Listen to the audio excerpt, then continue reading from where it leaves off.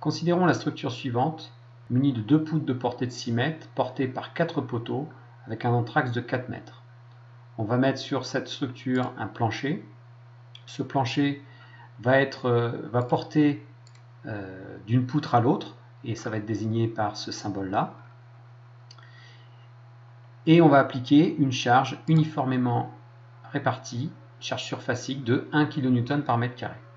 D'une manière relativement intuitive, on comprend que chaque poutre va reprendre la moitié de la surface du plancher et donc chaque poutre va reprendre une charge linéique de 2 kN par mètre. Cette charge se calcule de la manière suivante. Donc on prend ce qu'on appelle la largeur de reprise qui correspond donc à la bande de chargement reprise par la poutre, donc ici qui vaut 4 divisé par 2, multiplié par la charge surfacique, ce qui donne bien 2 kN par mètre. Alors ici dans l'exemple j'ai un signe négatif tout simplement parce que par rapport au repère considéré qui est ici, la charge va dans le sens négatif. Mais euh, ce n'est pas très important à ce niveau-là. Que se passe-t-il maintenant si j'augmente l'anthrax entre les poutres? C'est-à-dire que je passe de 4 mètres à 6 mètres.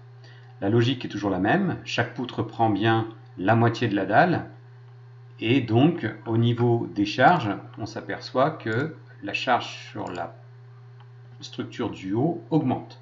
Pourquoi? Parce que la largeur de reprise augmente.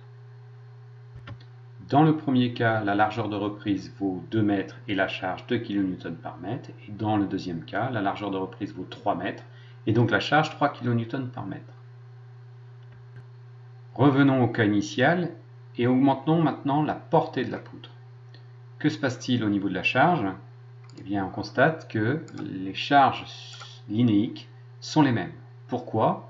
Parce que la largeur de reprise est toujours la même la longueur de la poutre n'influence pas la valeur de sa charge en kN par mètre. Ce qui va influencer sa charge, c'est l'anthrax, c'est-à-dire la largeur de reprise.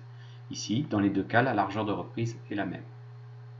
Ajoutons maintenant une file supplémentaire et regardons ce qui se passe sur la file du milieu.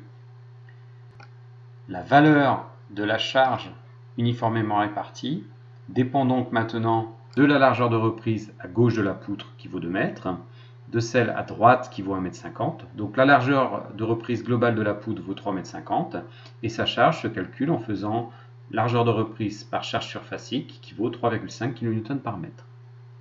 Enfin, envisageons le dernier cas où ici on pourrait imaginer qu'il y ait une trémie d'escalier sur le plancher et donc la charge uniformément répartie sur la poutre ne va pas être constante puisque une zone de la poutre porte plus qu'une autre. La première partie a donc une largeur de reprise de 3,50 m et une charge de 3,5 kN par mètre, et la seconde partie une largeur de reprise de 2 mètres pour une charge de 2 kN par mètre.